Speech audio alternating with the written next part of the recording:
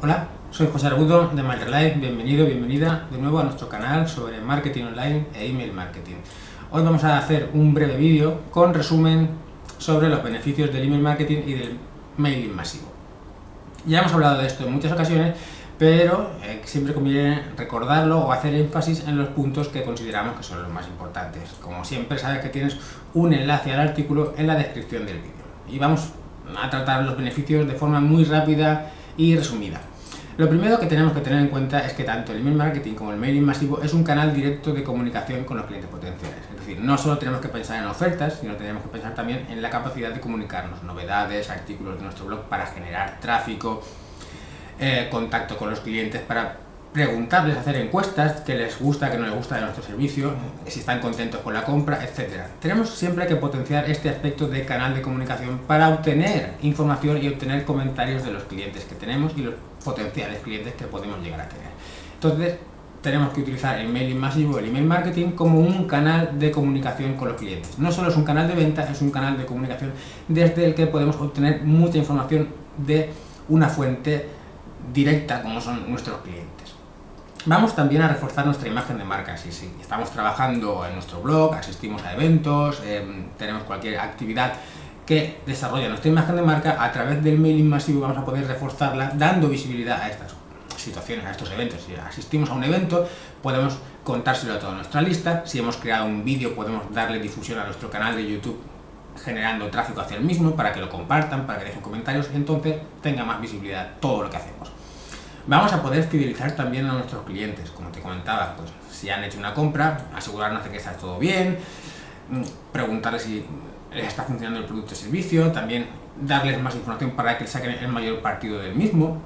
Volvemos al tema de que es un canal de comunicación, pero nos sirve para fidelizar a los clientes. Una persona que compró hace tres meses, la única manera de que siga recordando nuestra marca y nuestro producto es si seguimos en contacto con esta persona. Una manera de seguir en contacto es hacerle llegar artículos de nuestro blog, hacerle llegar vídeos de uso, interesarnos porque todo esté bien cada X tiempo. Entonces es una forma de fidelizar a los clientes, una herramienta que nos va a ayudar a fidelizar, cosa que es muy importante para que cuando llegue el momento en que tengan que volver a comprar, pues piensen en nosotros de forma directa, recuerden nuestra marca y vuelvan a adquirir nuestros productos. Está claro que además de todo esto, no debemos de olvidarnos de que es una forma de promocionar y vender nuestros productos o servicios. Tenemos una lista de suscriptores, una lista de clientes y bueno, podemos hacerle llegarles ofertas pues, en épocas de promociones o en épocas en las que es interesante vender nuestros productos o la que son épocas en las que la gente suele comprar, navidades, descuentos, rebajas, etc.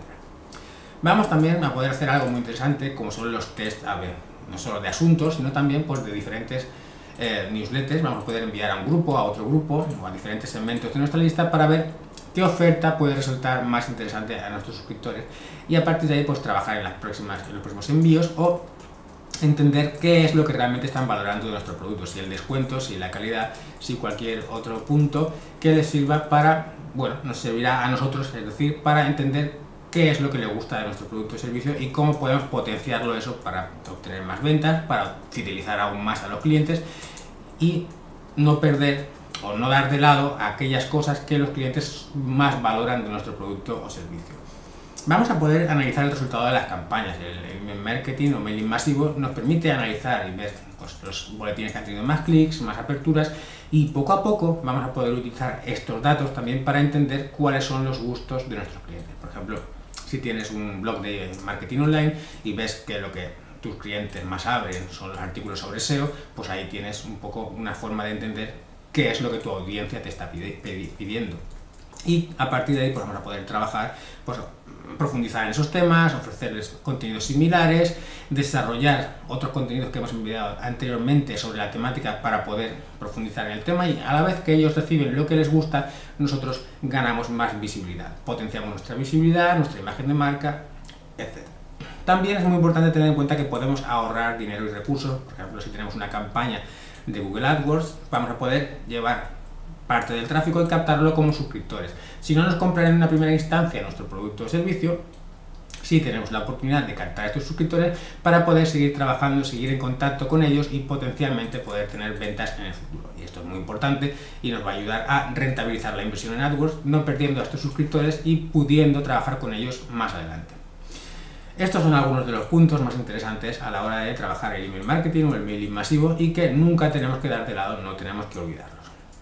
No está de más, por lo tanto, recordarlos y como sabes, tienes más artículos relacionados en nuestro blog, puedes acceder a través del enlace en la descripción del vídeo y a partir de ahí por ver más información y ver más guías sobre cómo trabajar el email marketing en tu estrategia de marketing online. Espero que este vídeo te haya gustado y que te resulte de mucha utilidad para tu marketing online. Nos vemos en el próximo vídeo. Hasta pronto.